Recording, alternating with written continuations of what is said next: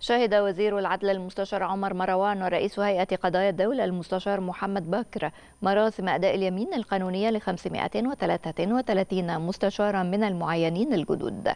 وذلك بهيئة قضايا الدولة من خريج كلية الشريعة والقانون والشرطة والحقوق. دفعة 2015 بناء على قراري الرئيس عبد الفتاح السيسي رقم 322 و 323 فيما تقرر حلف اليمين القانونية للمعينين الجدد بقضايا الدولة دفعة 2016 غدا بوزارة العدل.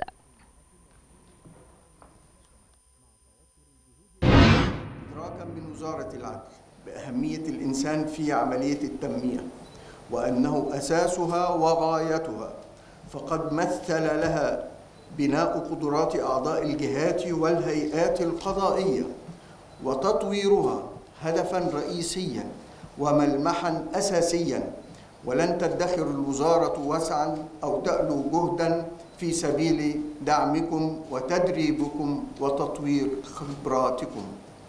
وكل ذلك من أجل رفعة شأن وطننا العزيز تحت القيادة الرشيدة للسيد الرئيس عبد الفتاح السيسي. مبسوطة جدا النهارده بانضمامي واختياري في هيئة قضايا الدولة أعرق هيئة قضائية. بتمنى من ربنا يكون على قدر المسؤولية عشان نحافظ على أموال الدولة العامة ومصالح الشعب. طبعا سعيدة جدا باليوم النهارده حلف اليمين.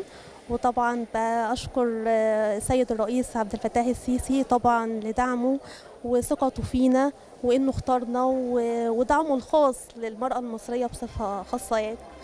الحمد لله طبعا ده يوم مهم جدا في حياتنا كلنا وإن شاء الله نكون قد المسؤولية.